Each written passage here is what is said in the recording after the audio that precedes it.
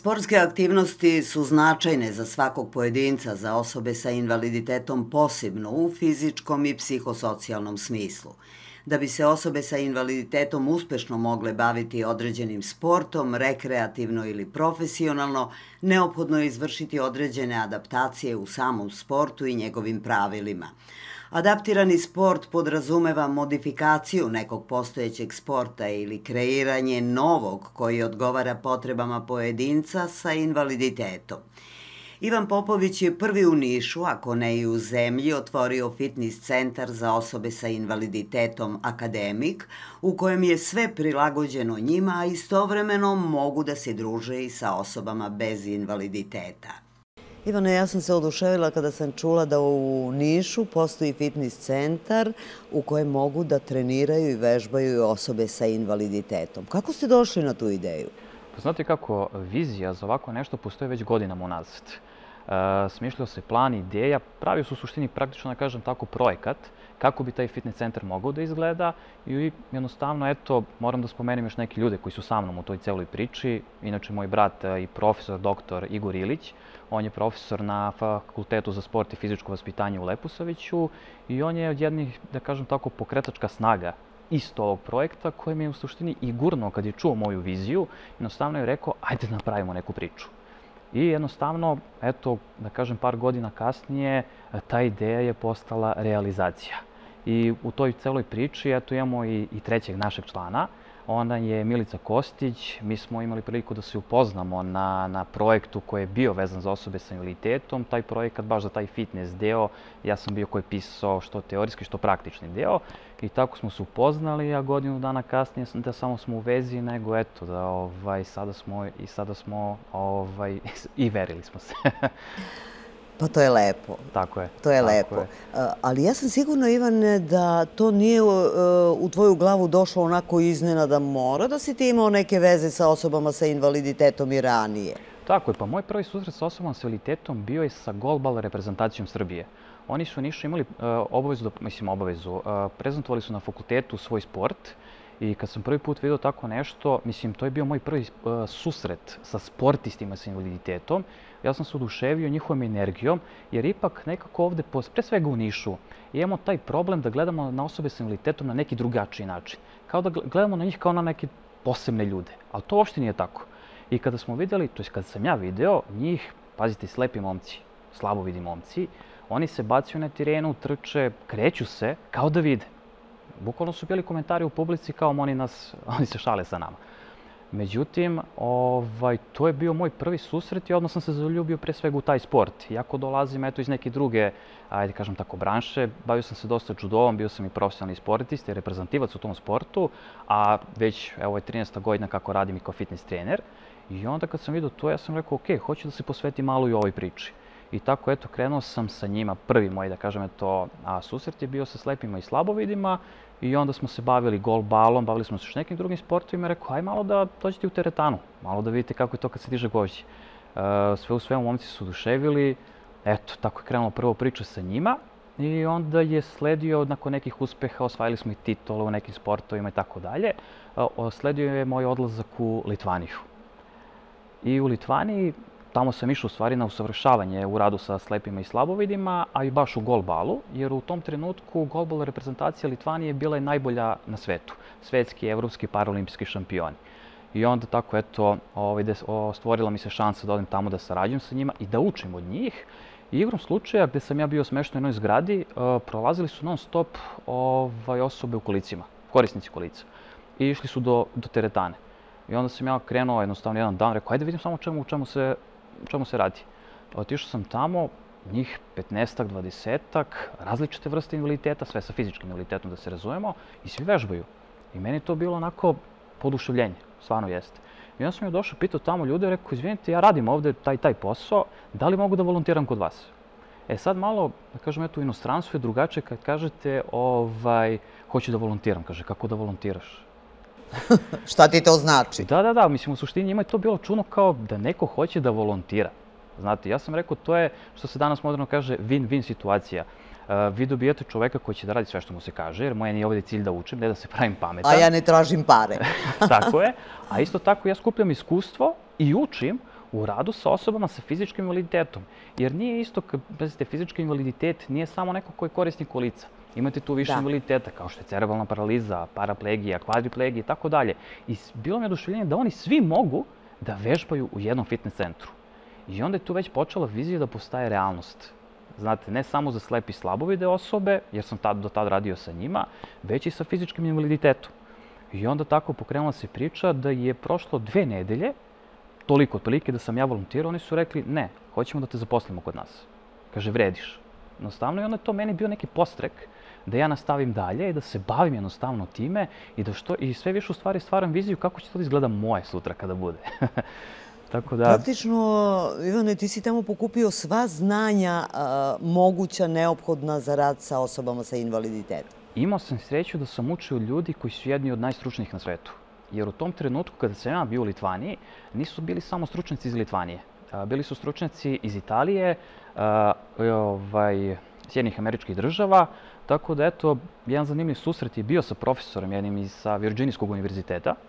I mi smo imali priliku cele nedelje da vodimo razgovore, da pričamo u stvari eto, o radu sa osobama sa invaliditetom, da na kraj, da, to sam zaboravio na pomenem, imam iskustvo u radu sa decom sa autizmom i to je bila tema našeg razgovora. I u suštini, u jednom trenutku, kako je tekao naš razgovor, on je počeo da priča nešto što meni potpuno bilo netačno, da se izrazim tako. I onda sam ja krenuo svoju neku priču i mi smo krenuli da se ubeđujemo i to ubeđivanje je trajalo. I trajalo da bi u jednom trenutku rekao svaka čast. Kaže, namerno sam radio ovo da vidim koliko si spreman da budeš svoj. Kaže, o, ja ti sada nudim da dođeš i upišeš doktorske ovaj, studije na Univerzitetu u Virginiji. I ja sam mislio, okay, možda se šali u tom trenutku. Međutim, ovaj, pošto je profesor i pošto je vidio u stvari koliko je sati, došao i onda je rekao pred, na sastanku pred dekanom Litvanskog sportskog univerziteta i pred ostalim profesorima, ovaj momak vredi i da znate, od mene ima ponudu da, da dođe na, na ovaj, univerzitet u Virginiji. Tako da u suštini to mi je sve bilo neki način motivacija da, se, da nastavim, da se borim i da radim to, ali iskreno da kažem da radim na neki svoj način. Jer sam imao neku svoju viziju i način kako mislim da je najbolje raditi i sa tim momcima i sa devojkama, i to hoću posebno da naglasim, jer pogotovo u Nišu, devojke što su sa invaliditetom su, ajde kazat ću, stidljivije. Tako da, eto, mm -hmm. Volio bih ovu emisiju da iskoristim da, da ih pozovem, da dođu u nas, naš uh, fitness centar Akademik, da vide da je to pun, pun uh, ovaj centar i sa devojkama koji su bez invaliditeta, ali da vide da one komotno mogu da vežbaju u, u našem centru. Znači, svi zajedno vežbaju? Tako je, svi zajedno. I osobe sa, i osobe sa, i osobe bez invaliditeta. A kako je to moguće, Ivane? Pa znate kako, upravo ono što smo pričali u viziji, sjeli smo i raz, uh, razmišljali smo kako da napravimo da ta priča može da funkcioniše, da istovremeno vežbaju osobe sa i osobe bez invaliditeta. I onda smo došli na ideju da jednostavno napravimo koncept da sprave budu jednostavno multifunkcionalne da u istom trenutku na jednom mestu može da se izvodi pet vežbi, a isto tako na pet različitih mesta da može da se izvodi jedna vežba. Tako da, eto, to nam je bio neki cilj i uspešan u stvari. Jer, eto, sad radimo sa osobama sa invaliditetom, pogotovo kad je, eto, u pitanju osoba sa fizičkim invaliditetom, dešava se da cijeli, cijel trening koji je sat vremena provedemo na jednom mestu. Znate, I sad umesto da šetamo, da kažem, sa, sa ovaj, klupe u kolica, pa opet da idemo na drugu spravu, sad imamo mogućnost da svih sat vremena provedemo na jednom mestu. Ako je takav trening, da se razumemo. Nije to jednostavno, Ivane, imajući u vidu da postoje razne vrste invaliditeta i svakoj osobi treba pristupiti drugačije. Tako je. Počev od autizma koji je vrlo specifičan, ba do nekih teških fizičkih invaliditeta. Apsolutno se slažem sa vama. I mislim, eto, mogu bih da kažem, kad ste već spomenuli autizam, dva, dvoje dece koji su autizmom, oni su različiti. Ne možete da. svakom da priđete na isti način. I ako je fizički invaliditet, ako pričamo, na primjer, o paraplegiji, opet, različiti je pristup. Vi morate jednostavno da ispitate i da znate, u stvari, da gledate u detalje, što se kaže, i tačno da znate način koji je najbolji da priđete i kako će u stvari trening da bude efikasan, ne samo trening, mislim, ceo ciklus treninga, da jednostavno te osobe se osjećaju bolje i zdravije pre svega, jer to jeste naš cilj. Mislim, ovaj, nama je cilj ne samo sa osobama sa invaliditetom, nego i osobe koji su bez invaliditeta. Ja radim kao fitness trener, ovaj, eto jedna zanimljiva činjenica, mene zovu u teretani doktor diskus. Jer sam se Zašto dosta... tako? pa dosta sam se posvetio i tome i eto, od, ja imam trenutno svojih 17 vežbača, od toga su njih devetoro sa ovaj, invaliditetom, a njih sedam su sa, sa, ovaj, sa diskusom. sa diskusom, znači je. odmah da se prijavim. Može. Odmah.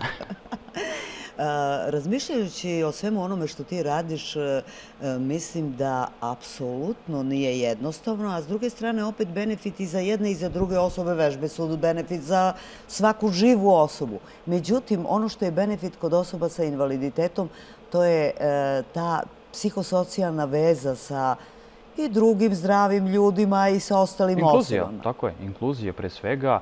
A, znate kako, ovaj, kad smo pokrenuli celu tu priču, hteli smo da imamo ljude koji su stručni da rade kako sa osobama s invaliditetom, tako i sa osobama bez invaliditeta. Moram da, eto, da pohvalim svoju milicu koja je stvarno profesionalac u svom poslu. Da kažem, surovi profesionalac na taj način, sam pristup kako ima, da ljudi vole, a da isto tako odradi sav posao perfektno. Isto i Igor, koji je profesor na fakultetu, njegov pristup profesorski, stvarno čini ljude da se opuste jednostavno u teretani. I ono što mi je najdraže od svega, da svako ko je došao u naš fitness centar kaže sviđa nam se ovde zato što je atmosfera domaćinska. Mm -hmm. Tako -hmm. da, a ovo što ste lepo napomenuli, da je bitno za svakoga, apsolutno, fizičko vežbanje je bitno apsolutno za svaku osobu, bez obzira na pol, bez obzira na godine, bez obzira da li je to osoba sa ili bez invaliditeta fizičko vežbanje kao fizičko vežbanje, ali naravno uz odgovarajući ovaj, i program i sistem treninga, uh, reći, za, uh, reći posle zašto sam to posebno napomenuo, je izuzetno bitno i ako mi danas uspemo bar, eto, petoro ljudi, da ubedimo da dođu u naš akademik fitness centar, u stvari neka dođu bilo koji fitness centar, da treniraju, da se da. pokrenu, da. naša misija je uspešna. Vaša misija je samim tim uspešna, jer ljudi danas su dosta, da kažem tako, rezervisani prema tom fizičkom vežbanju. Nema se vremena, previše obaveza i tako dalje, a u suštini sat vremena da se izdvoji toku dana, ok, sat i po vremena dok se dođe, ajde da kažem tako, i vrati iz fitness centra, ovaj, nije mnogo, kad pogledate. Nije mnogo, a zdravi život i šta se sve dobija treningom, odnosno fizičkim vežbanjem, je mnogo. Tako da, eto, mi imamo dva glavna cilja, a to su da našim klijentima trening postane obsesija. Uklanjanje barijera za osobe sa invaliditetom ne znači samo uklanjanje arhitektonskih barijera, znači i uklanjanje stigma i njihovo uvođenje u sve normalne tokove života, prilagođavajući život njima, a usput se i ove osobe prilagođavaju životu. Sport je samo jedna, ali veoma važna aktivnost za njih. Lepa priča, priznaćete, priča koja dokazuje da se sve može kad se hoće i kada se kockice u mozaiku poslažu i kada je onaj ko odluči da se ovim poslom bavi u potpunosti posvećen tome bez razmišljanja o profitu. Ivan Popović se školovao za rad sa osobama sa invaliditetom, ali važnije od toga je i njegovo razumevanje i želja da im pomogne u svakom smislu, i fizičkom i psihosocijalnom, i da se osobe sa invaliditetom u njegovom fitness centru osjećaju jednaki sa svima ostalima. To je i suština inkluzije, ako se ne varam.